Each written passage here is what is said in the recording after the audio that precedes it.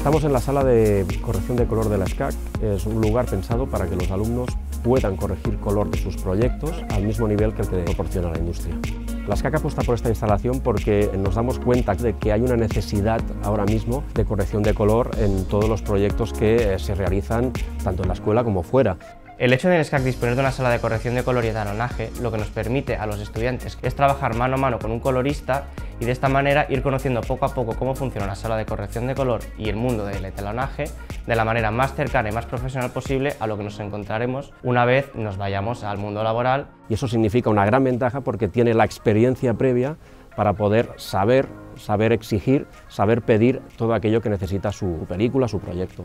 Cuando hablamos de fotografía no solo hemos de contemplar lo que es el apartado de cámara, de iluminación, sino que también tenemos que tener en cuenta lo que es la corrección de color y que es un mundo que nos va a ayudar a llevar nuestra película o nuestro producto a donde queramos. No es lo mismo eh, corregir color en una sala donde hay un proyector de cine y una pantalla de 6 metros que en una pantalla de televisión de 27 pulgadas donde las condiciones de visionado son totalmente distintas a cómo se verá ese eh, proyecto en un cine. Esto es un factor diferencial en la corrección de color porque proporciona una experiencia única a un director de fotografía que está corrigiendo color.